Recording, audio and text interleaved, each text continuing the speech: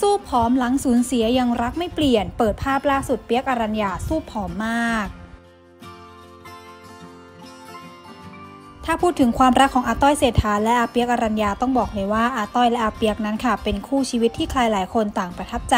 ซึ่งจุดเริ่มต้นความรักของทั้งคู่นั้น เกิดขึ้นหลังจากที่เขาได้ร่วมงานกันในภาพยนตร์ ชื่อดังเรื่องชื่นรัก ในปี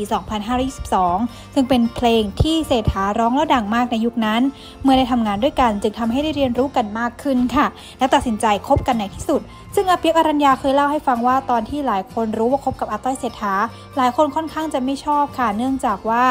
มีความเจ้าชู้ของฝ่ายชายเข้ามา อีกทั้งอาต้อยเศรษฐายังเคยผ่านการมีครอบครัวมาก่อน แต่ก็ไม่ได้เป็นผลกับความรักของทั้งคู่นะคะ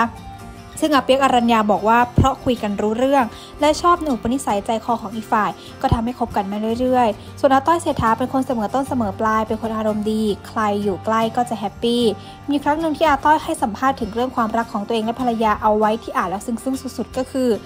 มีคนเคยพูดกับผมอยู่บ่อยๆนะคะ ว่าทำไมอรัญญาถึงมาเอาเศรษฐาเป็นนักดนตรีก็เลยกระล่อนไปวันๆ คุณเศรษฐาโชคดีที่ได้แฟนเป็นอรัญญา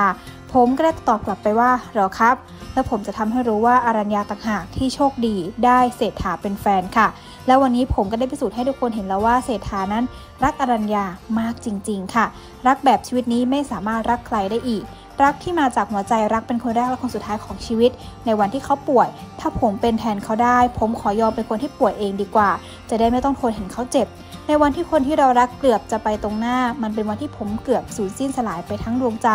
มันทำให้ผมรู้ถึงคุณค่าของทุกวินาทีที่เรายังมีลมหายใจ ซึ่งในระหว่างที่อาต้อยนะคะ เข้ารับการรักษาตัวที่โรงพยาบาล ลูกสาวอีพุทธิดาค่ะ ก็ได้เผยภาพความน่ารักของพ่อและแม่ ให้ทุกคนได้ยิ้มกันค่ะ ซึ่งเป็นภาพของอาเปียกคอยอยู่เคียงข้างไม่ห่างจับมือสามีเป็นกำลังใจพร้อมกับแคปชั่นกินใจว่าคู่ชีวิต ซึ่งความรักของทั้งคู่นะคะ ก็ถือว่ายืนยาวเป็น 41 ปีที่ดูแลกันและกัน ไม่ว่าจะยามสุขหรือว่ายามทุกข์ ถือว่าเป็นคู่รักในวงการตัวอย่างจริง ๆ ค่ะ